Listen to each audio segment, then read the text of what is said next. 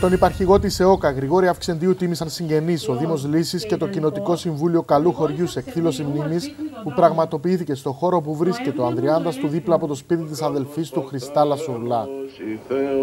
Η εκδήλωση ξεκίνησε με τριζάγιο από τον Μητροπολίτη Κιτίου Χρυσόστομο.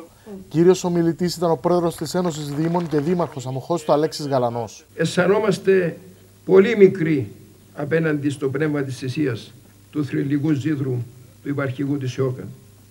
Δυστυχώς τα παιδιά αυτά έφυγαν από τη ζωή με το όραμα μιας Ελλάδας και μιας, και μιας Κύπρου ελεύθερης. Χαιρετισμό απίθυνε και ο δήμαρχος της Ιρωτόκου, Λύσης Σιμεών Μπαστού.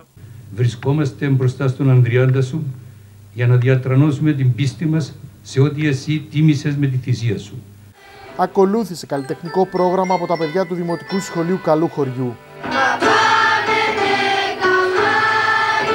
Η εκδήλωση μνήμης έκλεισε με κατάθεση Στεφάνου και τον εθνικό ύμνο.